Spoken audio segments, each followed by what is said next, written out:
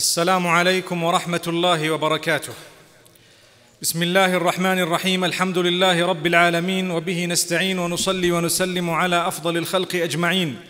نبينا محمد وعلى آله وصحبه والتابعين ومن تبعهم بإحسان إلى يوم الدين وبعد. We commence by praising Allah subhanahu wa ta'ala, sending blessings and salutations upon Muhammad sallallahu alayhi wa sallam and all his companions. May Allah subhanahu wa ta'ala bless his entire household and may Allah subhanahu wa ta'ala bless every single one of us and grant us every form of goodness. Beloved brothers and sisters in Islam, we heard yesterday about the victory of Mecca and how the Prophet sallallahu alayhi wa sallam forgave all of those who had committed murder and all of those who had committed grave crimes, those who had been fighting the Muslims for many, many years and how he had asked them the question, What do you think I'm going to do to you today? And perhaps a lot of things crossed their minds, but they had hope and they knew this man was a very, very honored man, honorable man. And this is when he says, اذهبوا فأنتم الطلقاء. You can go, for all of you are free. No retribution today. I tell you what the Prophet Yusuf alayhi salam told his brothers. لا تثريب عليكم اليوم There will be no retribution, recompense, revenge on this particular day. We ask Allah subhanahu wa ta'ala to grant us a lesson. Many of us cannot do that with our own family members. Many of us cannot do that with our brothers and sisters, our relatives, uncles and aunts, or community members. May Allah subhanahu wa ta'ala grant us goodness and help us resolve our internal matters. Ameen. The Prophet sallallahu alayhi wasallam, after having destroyed all the idols, then got Bilal ibn Rabah radiallahu anhu to climb on top of the Kaaba and to call the adhan. As he called the adhan, some of the mushriks of Mecca who were there, they began to comment, look at this man. He was a slave yesterday and here he is, look at the type of honor that this Muhammad sallallahu alayhi wasallam has granted him. And the Prophet sallallahu alayhi wasallam thereafter addressed the people. He gave them a powerful lecture the main message was that all people are equal. There is no virtue of any color or race. There is no virtue of anyone because of their wealth or because they do not have wealth. The only virtue is through piety and that is known to Allah alone. So each person must understand.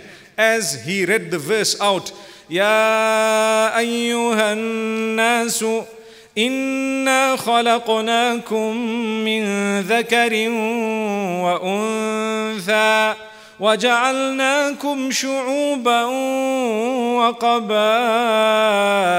لتعارفوا إن أكرمكم عند الله أتقاكم إن الله عليم خبير.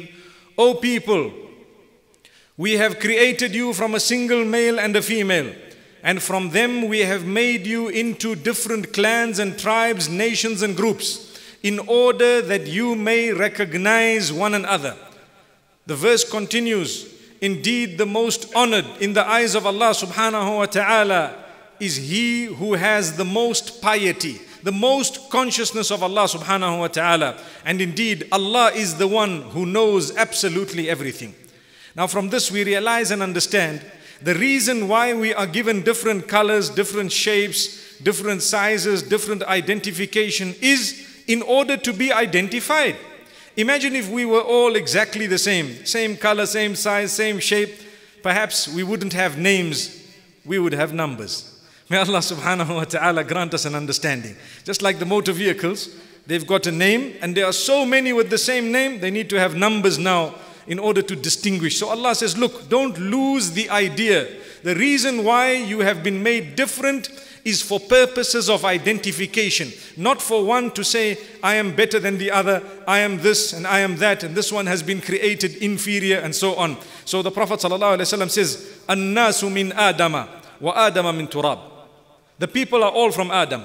And Adam is from the soil, he is from the dust. So everyone is related and everyone the, in fact, on that day also the Prophet ﷺ explained something direct. لا فضل لعربي على عجمي ولا لعجمي على عربي إلا بالتقوى. There is no virtue of an Arab over a non-Arab or a non-Arab over an Arab except by piety. And he continued to say, وَلَا لِأَبْيَضَ عَلَى أَسْوَدٍ And no white person can claim virtue over a dark complexion person. No. He says the only difference is piety. So this was a rule that was laid. The people of Quraysh were busy learning. The reason why they were learning, a lot of them had entered the fold of Islam. Some of them were not yet Muslims.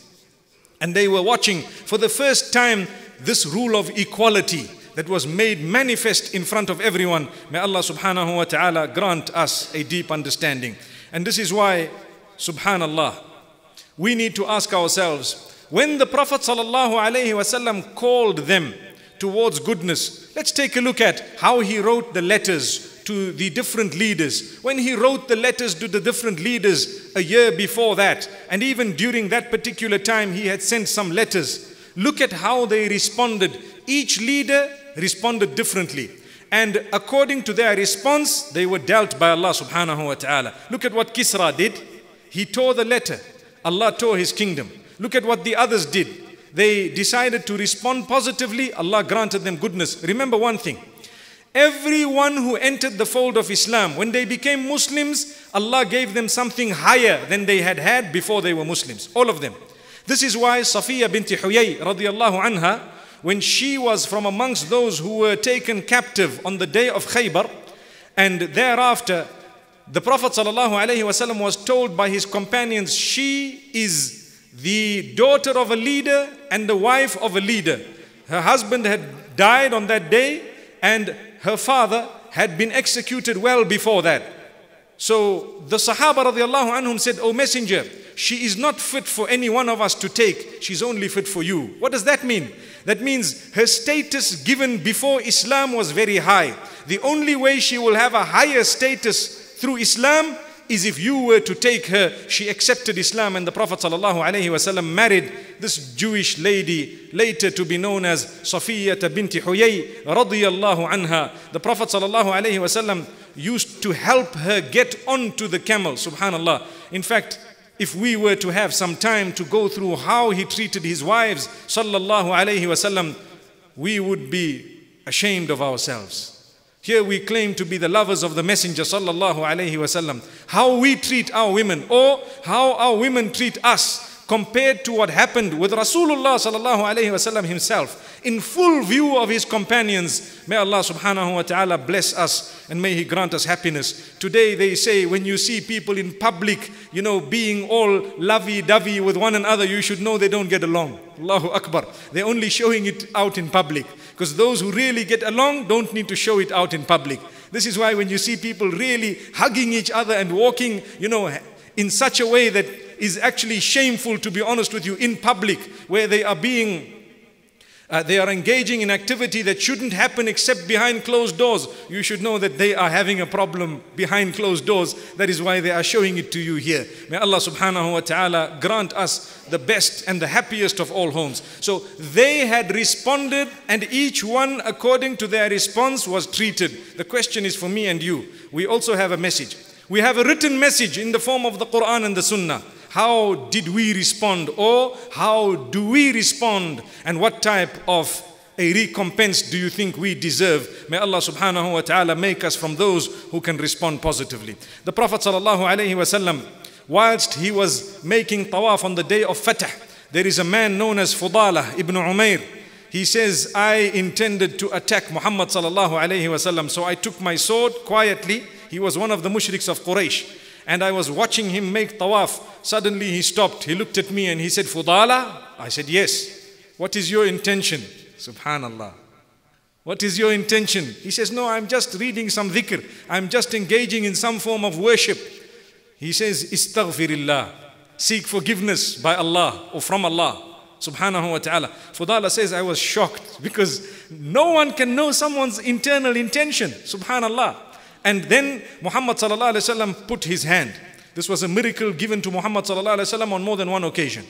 He put his hand on the chest of Fudala and said a few words. Fudala says, Wallahi, I told him, O messenger, after being the most hated person on the face of the earth to me a moment ago, You are now the most loved person to me on the face of the earth, and I bear witness that you are indeed the messenger. Sallallahu alayhi wasallam.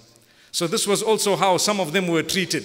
Rasulullah sallallahu knew this man is coming to harm, but at the same time, Allah had granted him very many miracles, subhanallah. One of them was this. He put his hand on the chest of Fudala, and suddenly you find this man had turned and he, his heart was filled with the love of Rasulullah sallallahu wasallam.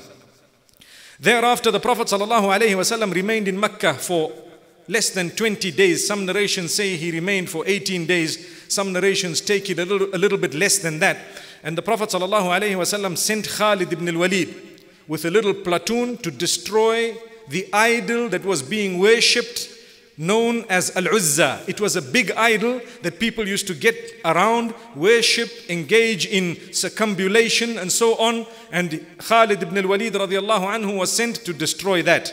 On the other hand, Amr ibn al-As was sent to destroy Suwa, which was in a different direction. And that too was an idol that was being worshipped, a big idol that was being worshipped elsewhere.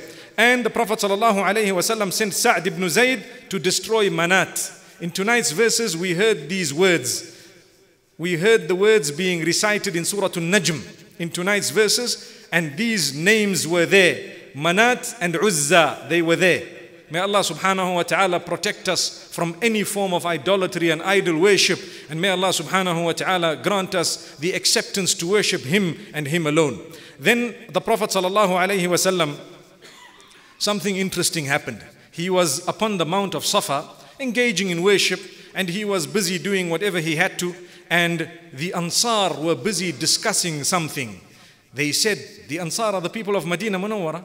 They said, This man is now at home, and he has now come to his people. Perhaps he might not return to Al Madinatul Munawwara. And so the Prophet called the Ansar when he heard this, and he told them, Subhanallah. He gave them the news that made them so happy that they began to weep. And this was not the first or the last time that this had happened. It happened again as well, as we will see. The Prophet told them, Al mahya mahyakum wal mamatu mamatukum. He says, I will live amongst you and I will die amongst you, the Ansar. They were so happy on that day, knowing that he was now going to return to Al Madinah al Munawwara. They were the ones who opened their doors, they opened their homes. The virtue given to them is great. Inshallah, we will see a little bit later on this evening.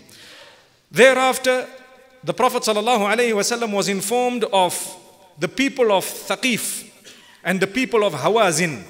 Remember in Ta'if, what happened to Muhammad ﷺ? He was harmed. Not very many years back, he was harmed. And they had chased him out of Ta'if, na'udhu billah, in a very disgraceful way. These people did not want to enter the fold of Islam. They decided, let's prepare a huge army and march on to Makkah. We will tackle Quraysh also. Subhanallah. Now Quraysh had diminished.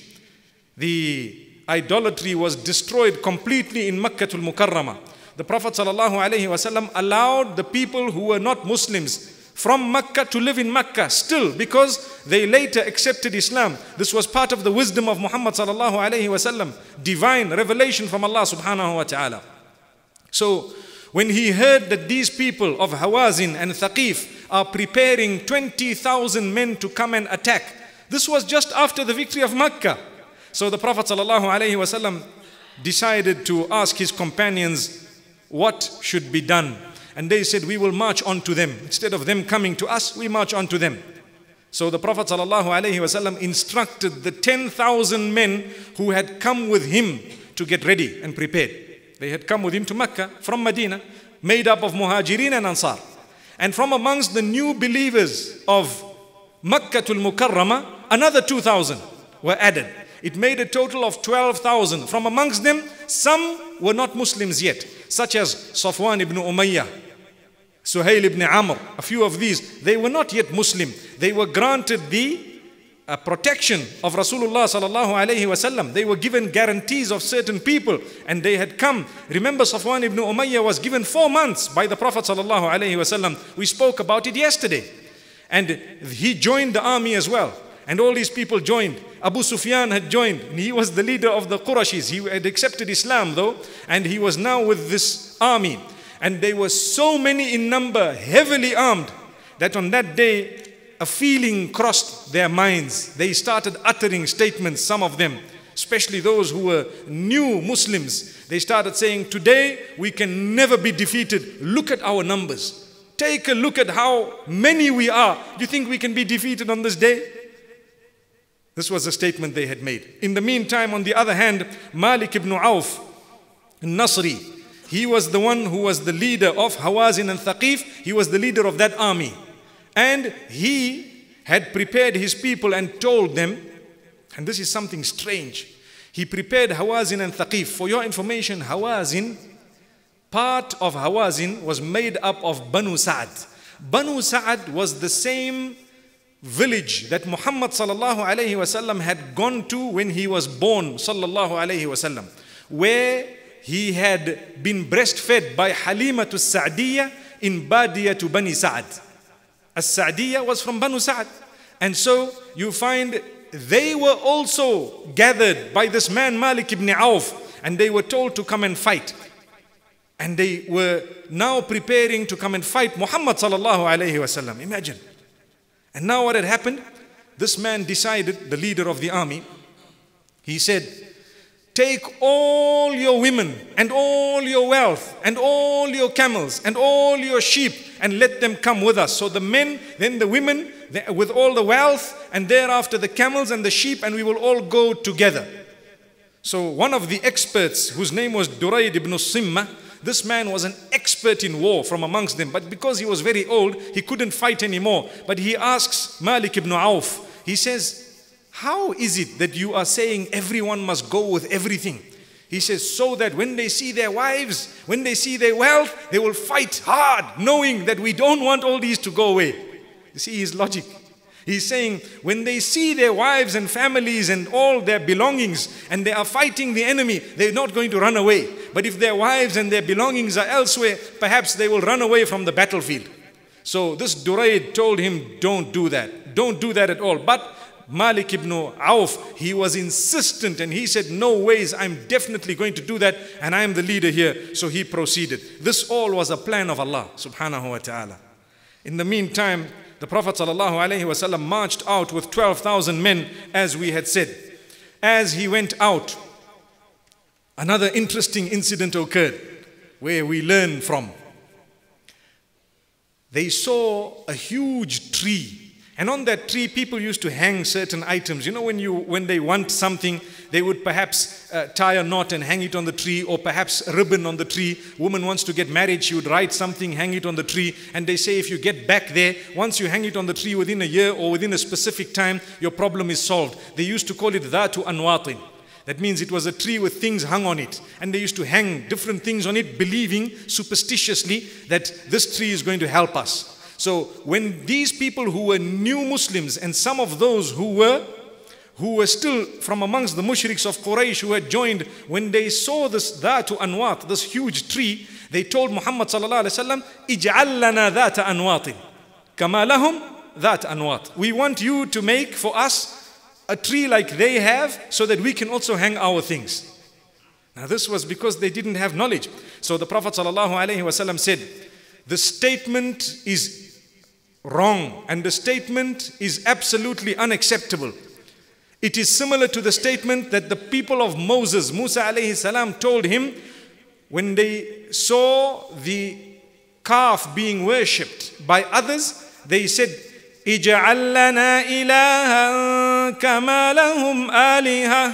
want you to make gods for us or a god for us, just like they also have their gods. So Allah subhanahu wa ta'ala says, إن هؤلاء متبر ما هم فيه وباطل ما كانوا يعملون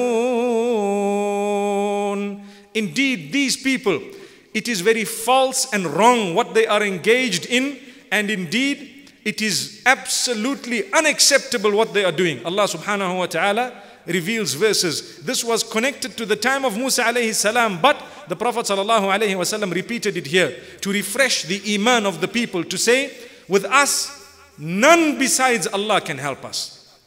We call out to none other than Allah. This was the whole message of Muhammad sallallahu alaihi wasallam from day one that you worship none besides Allah subhanahu wa ta'ala. So much so that he even said, Never ever worship me besides Allah subhanahu wa ta'ala. You render acts of worship to Allah subhanahu wa ta'ala alone. So this was an incident that had happened and they learned much from it. We ask Allah subhanahu wa ta'ala to protect us. Thereafter, you find the, the Quran makes mention of how the people had made mention of their numbers and how big they are.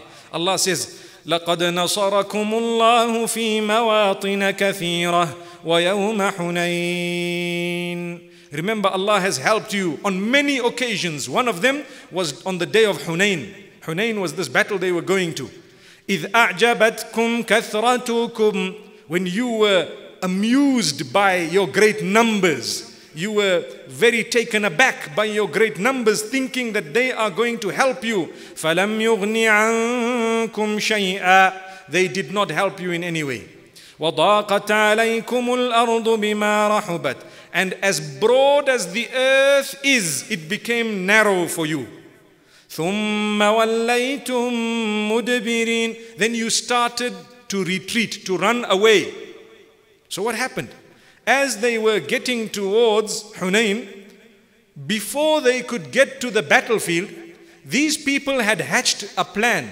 And that plan was from a small alley or gully, a small area that they were passing through to get onto the battlefield, the enemy began to attack the Muslim army all at once and suddenly raining upon them arrows and spears to the degree that the horses of the Muslims began to go back, confused.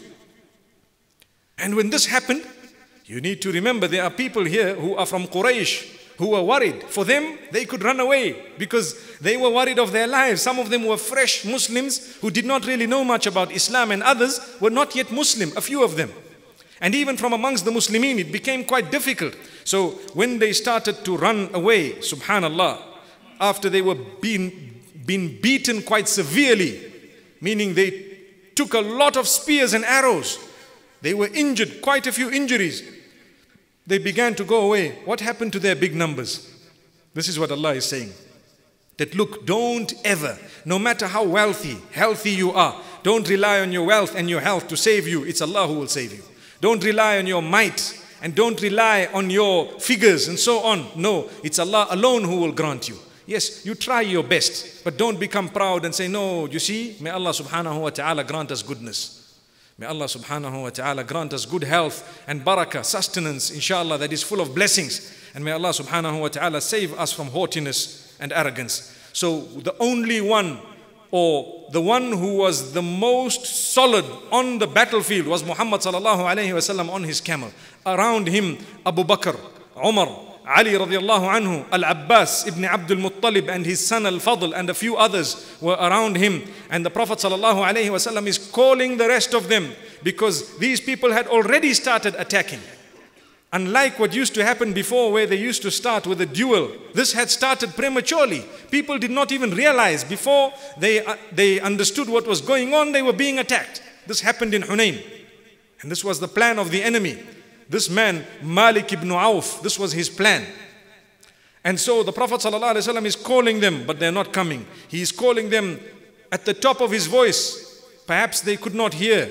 And some of them were busy doing all sorts of other things. And this is when some of the mushriks began to say, Oh, today is the day when Muhammad is going to lose. Na'udhu billah, sallallahu alayhi wasallam.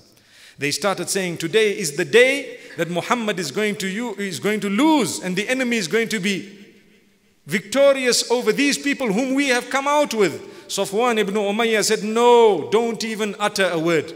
Don't utter a word. Ikrimah ibn Abi Jahl, who had entered Islam just a few days before that, he said, Never ever will the Muslims lose because it is not to do with the numbers, nor is it to do with Muhammad sallallahu alaihi wasallam. It is to do with Allah. And even if today, if they have to retreat, they are going to come back, and final victory will definitely be for them. So one of them said, "Hang on, aren't you the son of Abu Jahl? But just yesterday, just yesterday you were with us." And we were busy against this man. Today, it hasn't even been a proper day, and you're coming to tell us it's to do with Allah subhanahu wa ta'ala. Ikrimah ibn Abi Jahl, the son of Abu Jahl, he gets up and he says, Wallahi, we were in ignorance, deep ignorance, worshipping stones and sticks and idols and that which doesn't benefit. And through Allah's mercy, He took us out of that. And now we worship our Maker, the only supreme deity, and He alone is in full control of everything that shall happen on this day. Look at the strength of Iman in a few days. Look at the strength of Iman of this man. Wasn't he the son of Abu Jahl? Abu Jahl, the enemy of Islam, who was executed during the battle of Badr. And this man is the son, Ikrimah. He took part against the Muslims on more than one occasion. And now he is here saying that Allah is in control. Subhanallah.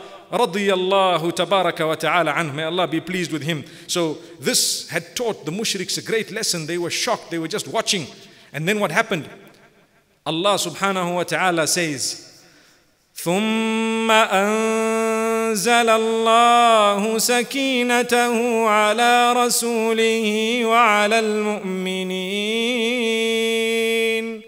Then at that point Allah had sent down the sakina, the peace, the tranquility upon the Rasul sallallahu alayhi wasallam as well as the believers. What happened?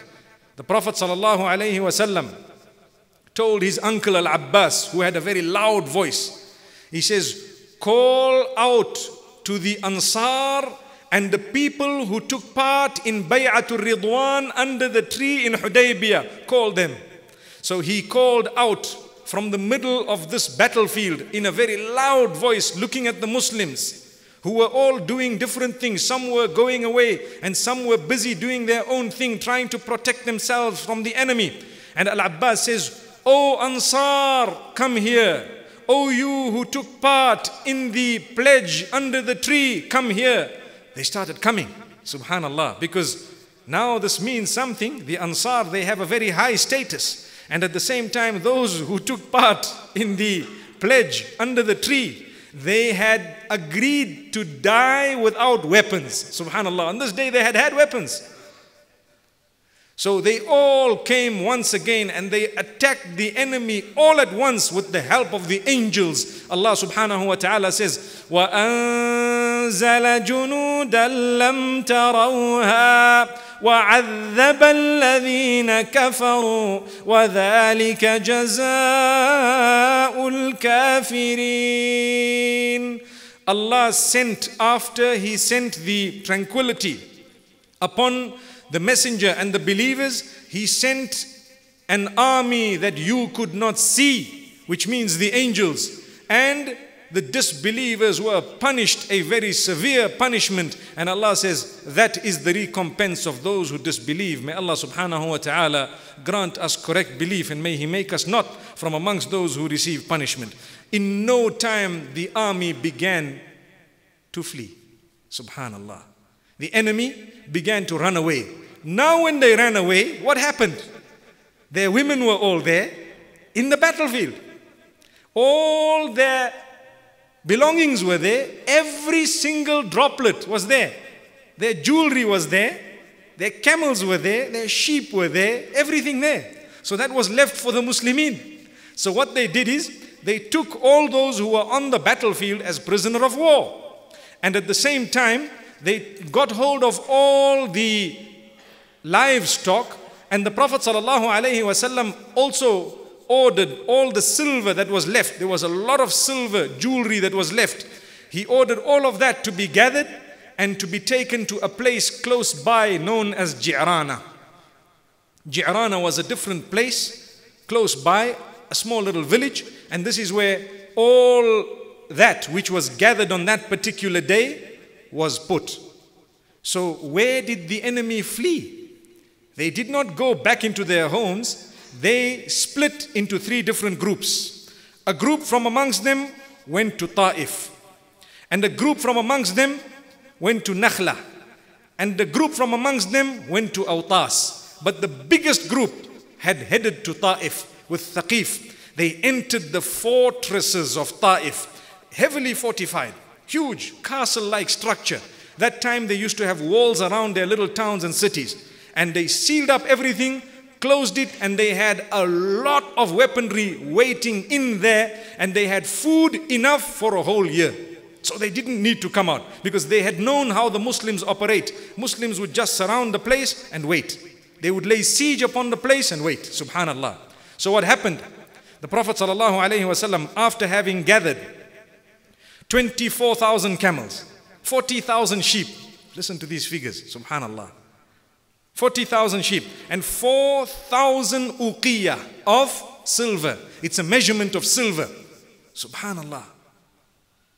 And all this was taken to Ji'rana. Thereafter, these people ran. The Prophet ﷺ sent Abu Amir al-Ash'ari to Autas, which was one of the groups that had gone. He was victorious over them. He lost his life. He was martyred there.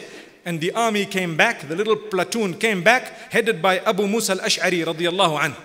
But as for the rest of the Muslims, they headed straight to Ta'if. What did they do? When they got to Ta'if, they surrounded the place. Subhanallah. This is the instruction of Allah subhanahu wa ta'ala. And Allah subhanahu wa ta'ala has indeed favored Muhammad sallallahu alayhi wa sallam. Muhammad had another miracle. It's important we pause for a moment and make mention of it. He was given this miracle by Allah subhanahu wa ta'ala.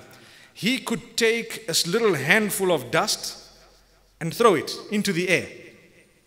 And in one moment, everyone in front of him would be rubbing their eyes with dust. Subhanallah. So when the enemy on the day of Hunain were attacking the Muslims and he was in the battlefield, his uncle is calling out the Ansar to come and those who had taken part in the pledge of the tree to come.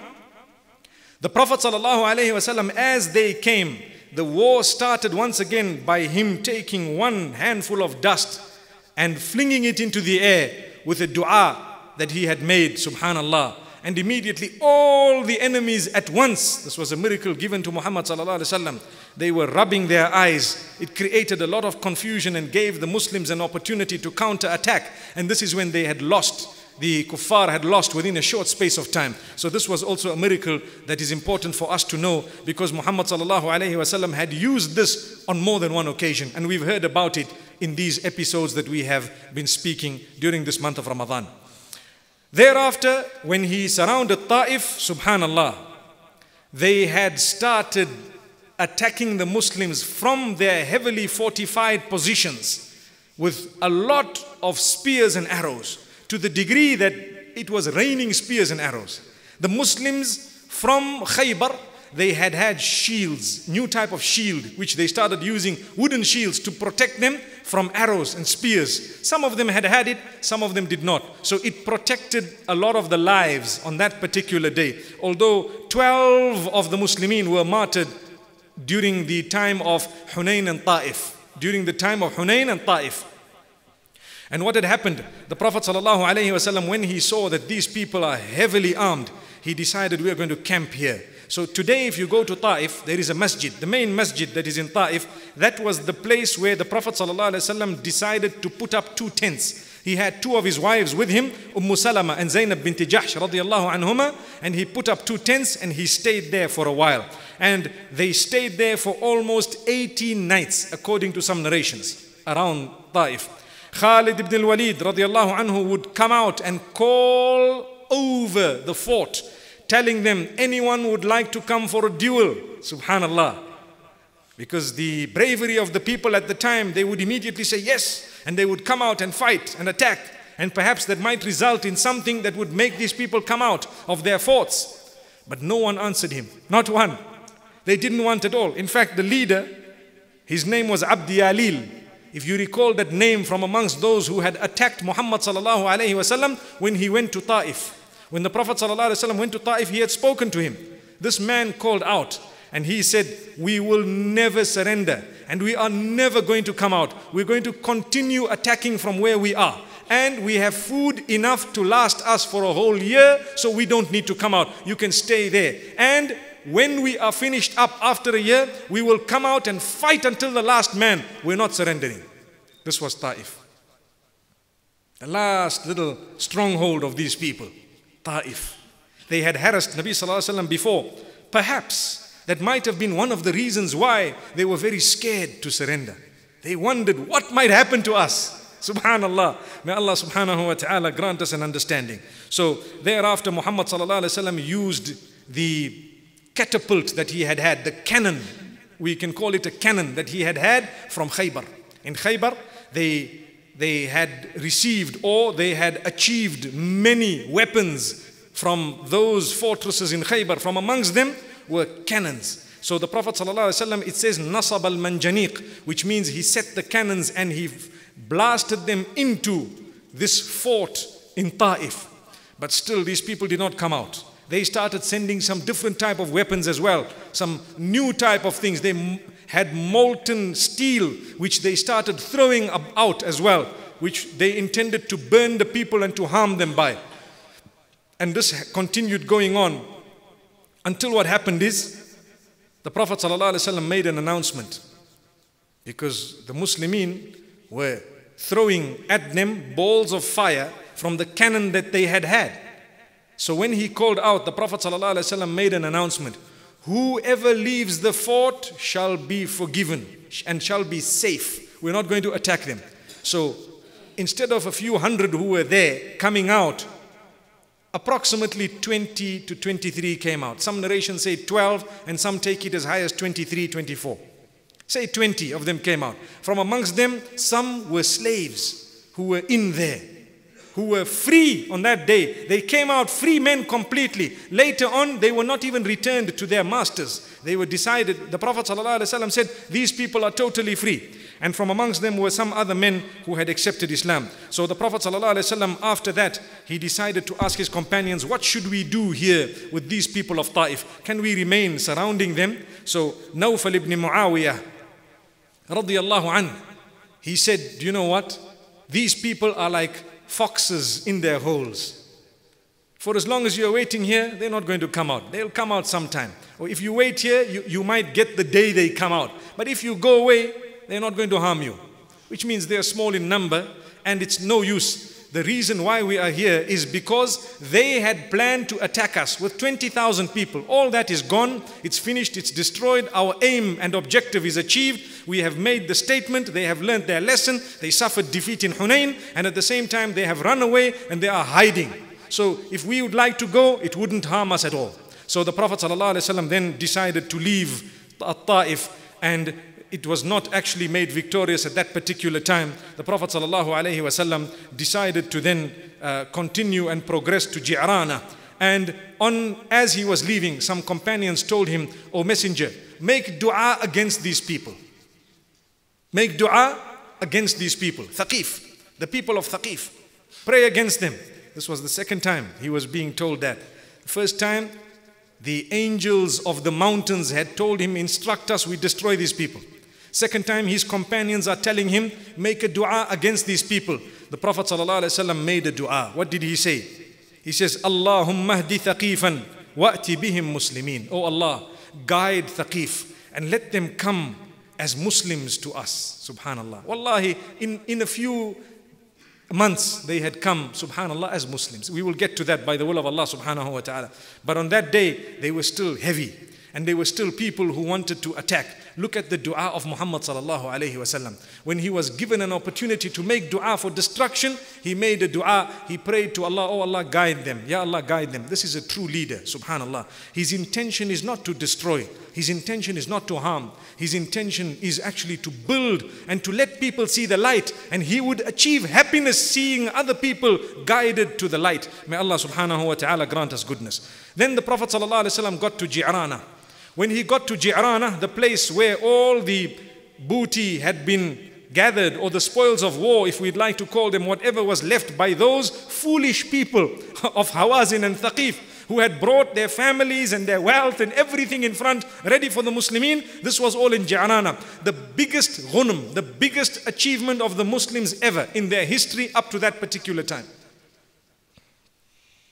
So the Prophet ﷺ decided to call the leaders of Quraysh, who were leaders up to that day, up to the day of Fath. Abu Sufyan, let's give him something from this. So, what was Abu Sufyan given?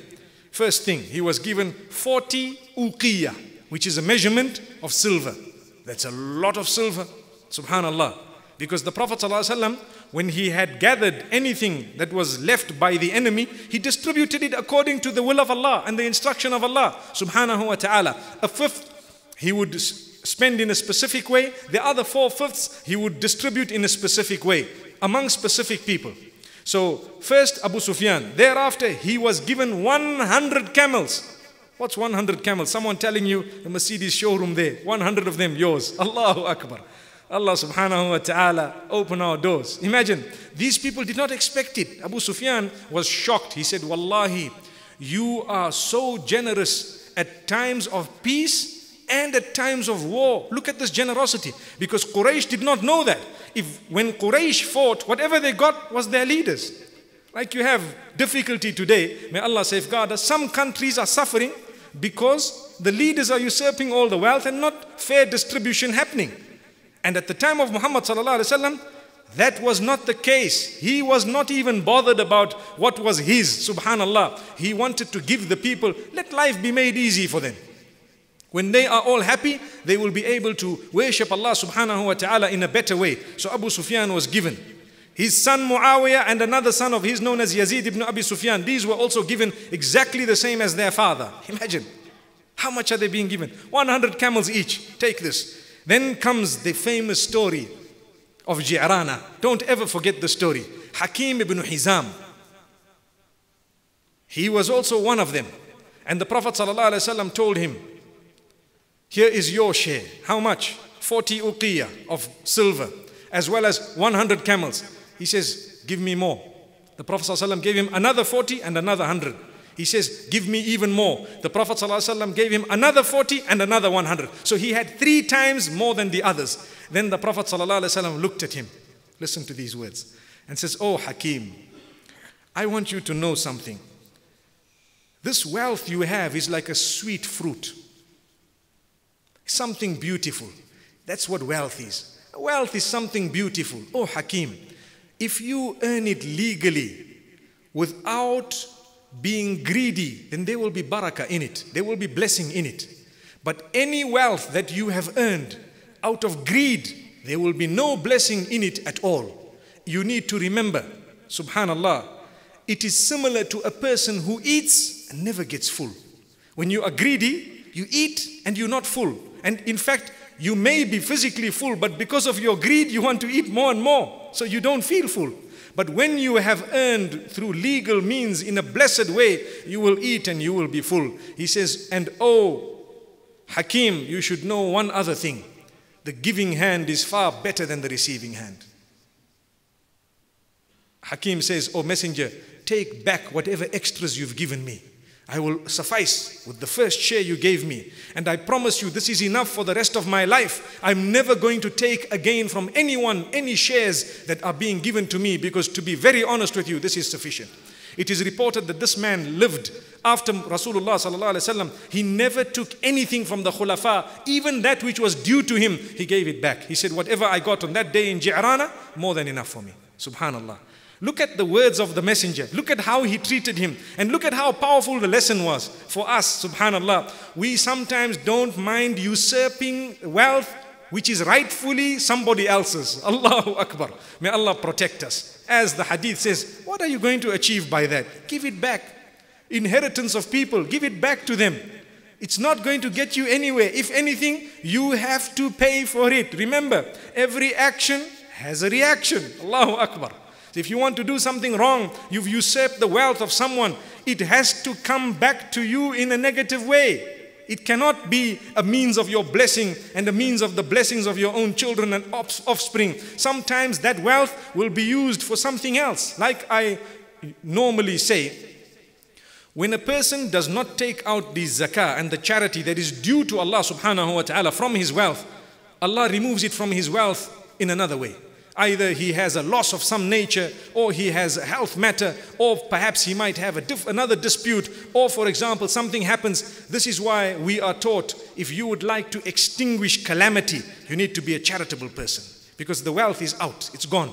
If you're not going to take it out, Allah will take it out in a different way. May Allah subhanahu wa ta'ala make us generous people and may He make us realize the giving hand is far better than the receiving hand. So this was a very important lesson. Also from amongst those who were given on that day, Uyayna ibn Hisn, he was given. Al-Aqra ibn Habis was given a lot. These were people of Quraysh. They were given quite a lot. And what happened? Safwan ibn Umayyah was not yet a Muslim. And he was busy looking at one whole herd of livestock. Looking at it. He kept looking at it. The Prophet ﷺ noticed this man's eyes, that he's looking at this herd. The Prophet says, Oh Safwan, would you like that for yourself? He says, Yes. He says, That is yours. He was shocked. Shocked. He says, For me, no one has ever honored me as much as I am honored on this day. Imagine he was a leader of Quraysh. They never honored him as much as that. And they say he kept on thinking about what happened on that day until he entered the fold of Islam as a result. Because he said, Islam, I'm not yet a Muslim. I was given four months to think about what to do. And here I am I'm being given honor and dignity by a man whom we fought, we went out to literally kill. May Allah safeguard us. Look at him. This is the heart of the messenger. Now, where is it when people want to say Islam was spread by the sword? Which sword were we talking about? Subhanallah. May Allah subhanahu wa ta'ala grant us goodness. May He make us from those who realize and who learn a lesson.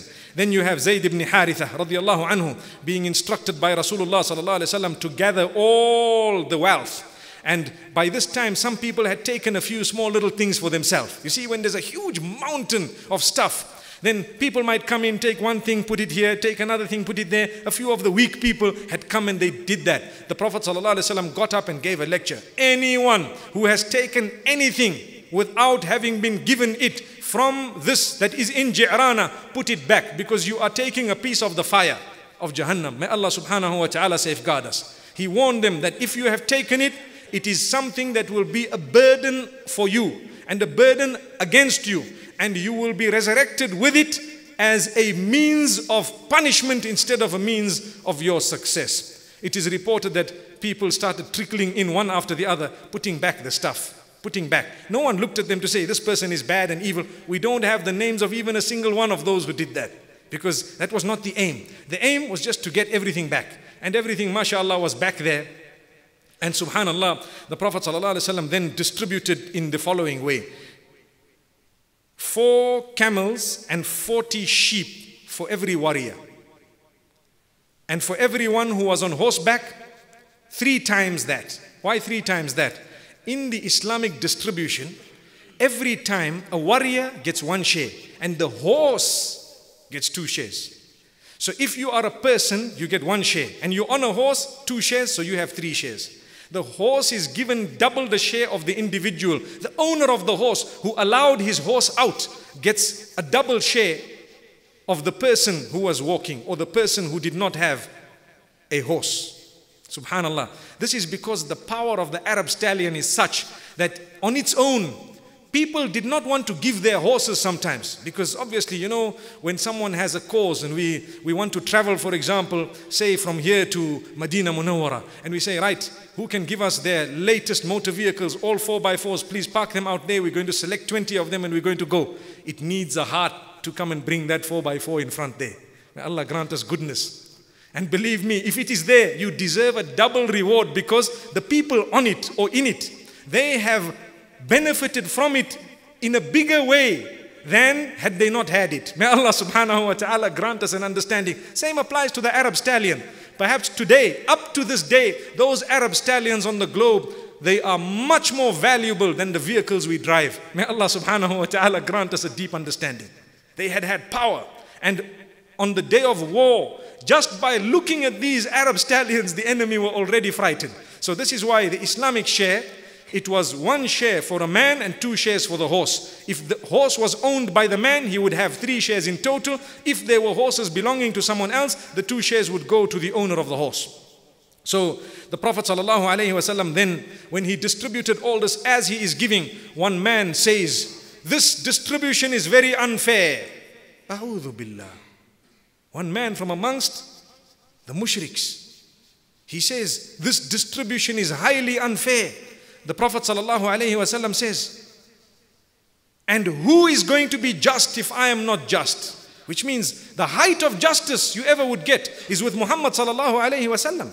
And the Prophet ﷺ was then faced with two of his companions, Umar ibn al-Khattab radiallahu anh and Khalid ibn al-Walid radiallahu anh. In fact, the man who uttered these words was not a mushrik, he was one of the Muslims. One of the Muslims. So the Prophet ﷺ, when he was faced with his two companions, Umar ibn al-Khattab radiallahu anhu and Khalid ibn al-Walid, they said, can we execute this man for such blasphemy?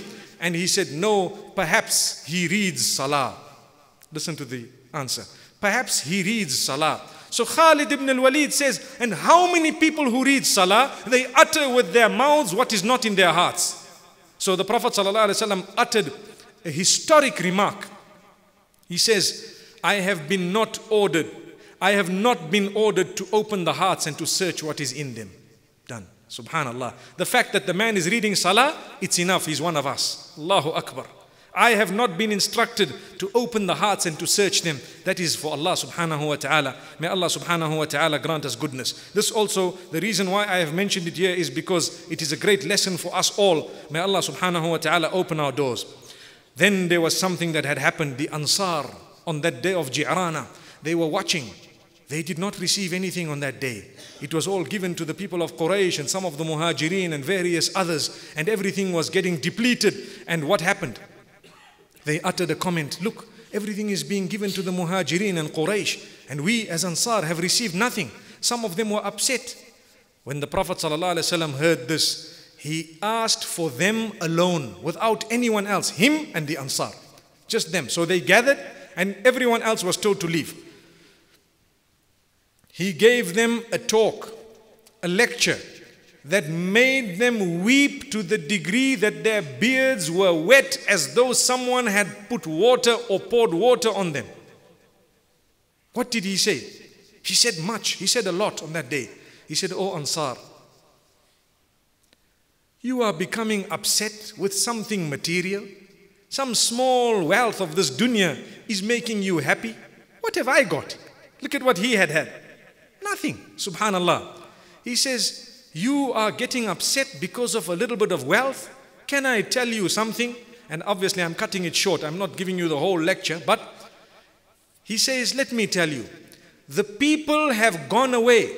The people are returning to their homes with camels and sheep. And you will return to your homes with the Messenger sallallahu wasallam. What more do you want? They began to weep. They began to cry. What greater gift of Allah can there be? Imagine if people were to tell you, listen, Allahu Akbar, Allahu Akbar, may Allah open our doors.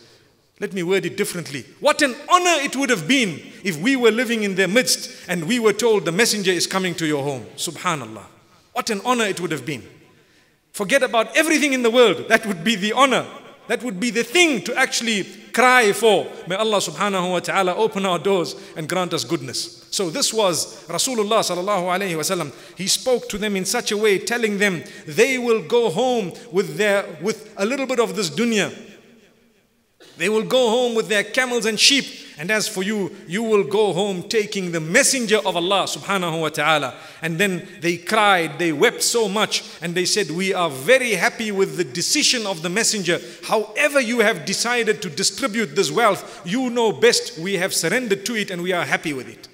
Subhanallah. Although they went without getting anything on that particular day. What they got was far bigger than the material wealth of the dunya. They got Muhammad sallallahu alayhi wasallam. To this day, Al-Madinah al-Munawwara is known as Al-Madinah al-Nabawiyya, the city of the messenger, because he went back with them. Had he not gone back with them, it would not have been having that name today. May Allah subhanahu wa ta'ala Bless us all. In fact, had he not passed away in Medina Munawwara, would we really have been going there? May Allah subhanahu wa ta'ala grant us goodness. It is through Rasulullah sallallahu alayhi wasallam's living in Medina Munawwara that the masjid was built.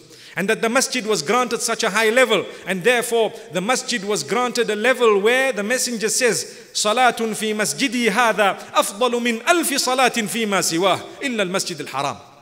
One prayer in my masjid here is better than a thousand prayers anywhere else except the Masjid al Haram in Makkah al Mukarramah. So this was given the virtue. Hence, we find ourselves going there and we find the peace and tranquility in Al Madinah al Munawwara. Now we make mention of a few interesting points before we close for this evening.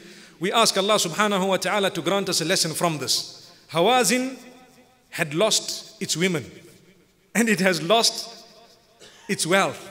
Two things were gone women and children gone, wealth gone. Who told them to bring the women to the battlefield? They were gone.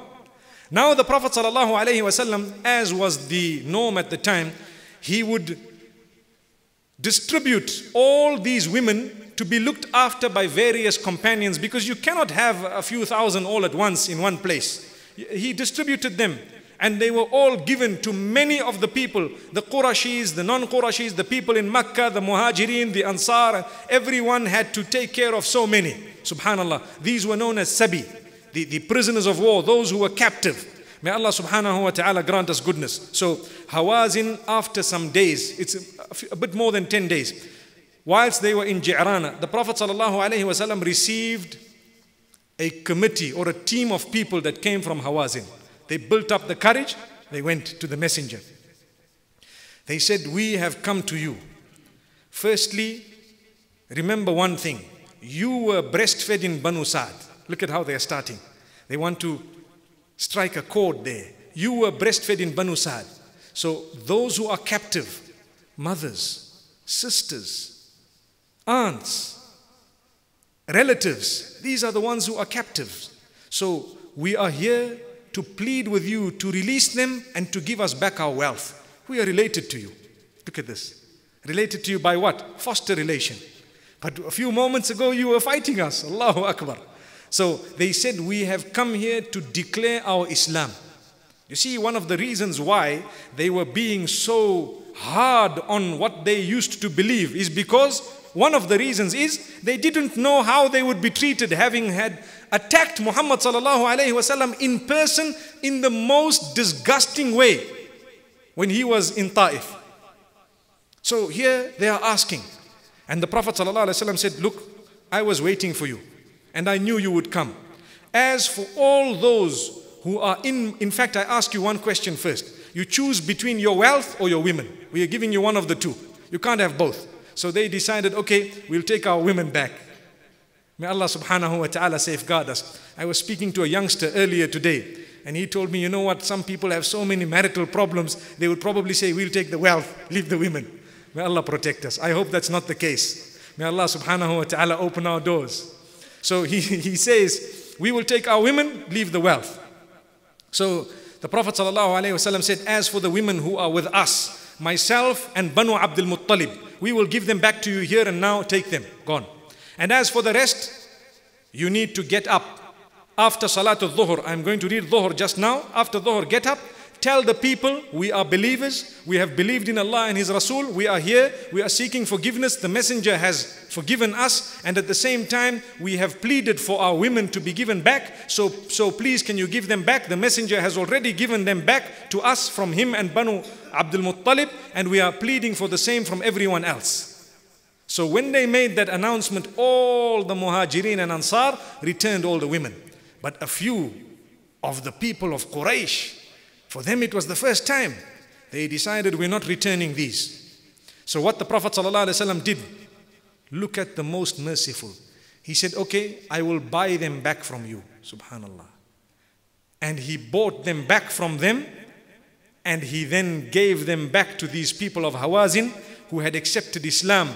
And Allah subhanahu wa ta'ala speaks about this, subhanallah, with the blessed lips of Rasulullah sallallahu alayhi wasallam these people were extremely grateful for what had happened on that day.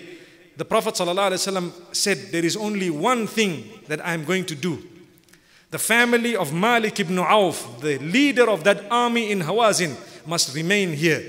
They will be living in a very good condition, but we want Malik himself to come and collect them. Malik must come himself to collect them. He was the leader of the army. So they said, Look, Malik has run away to Thaqif. We will send a message to him and we will tell him. Now, Thaqif in Ta'if, they were in that fort. Remember, the messenger had left them. And what happened when they sent the message to Malik that this is what happened to us? We all got our families back. We're happy, we're excited. No one was harmed, no one was hurt or injured. We lost our wealth because we decided to fight and it was already distributed. Perhaps had we gone there before the distribution, there might have been something else. Subhanallah. But they got there after the distribution already. Malik ibn Auf immediately he hid. He slipped out of Thaqif and he ran straight to Ji'rana and he went, O Messenger sallallahu alayhi wasallam, I have come to you and I am pleading with you to give me my family. The Prophet sallallahu alayhi wasallam returned his family to him. He accepted Islam. Looked at the honor the dignity that Islam had given him. He was not harmed, yet he was the leader of the enemies. His family was returned to him, yet he was the leader of the enemies. And the Prophet ﷺ thereafter used him as one of the leaders who were sent to his own people of Hawazin. And subhanAllah, later on, he became one of the ambassadors of Rasulullah ﷺ to his own place. Inshallah, we will get to that if Allah subhanahu wa ta'ala gives us the opportunity. So, this subhanAllah was how the Prophet ﷺ spent his days in Ji'rana, approximately 13 days after which he wore his ihram in Ji'rana and he proceeded to Mecca by night. He made Umrah at night and he left at night to return to Medina Munawwara. This was the end of the wars of the inter Arab warfare that was taking place at the time, the little tribes, each one fighting each other, it stopped after this day. There were only a few skirmishes. All the huge armies had entered the fold of Islam. And subhanAllah, you take a look at how Allah subhanahu wa ta'ala gave one victory upon another, and Allah subhanahu wa ta'ala opened their door, their doors. The Prophet ﷺ returned to Al Madinah Al Munawwara after approximately two and a half months. Inshallah, tomorrow we will continue with the seerah of Rasulullah sallallahu alaihi wasallam. It is drawing to an end and it brings tears to the eyes to think that subhanallah, we are reading and the book is now, or the books are now getting to the end. And one wonders, Allahu Akbar, we have read the seerah, we know about the seerah. Has it affected our lives? Has it changed us? Has it made us better people? If it has, we are the winners. If not, we stand to lose. وصلى الله وسلم وبارك على نبينا محمد سبحان الله وبحمده سبحانك اللهم وبحمدك نشهد أن لا إله إلا أنت نستغفرك ونتوب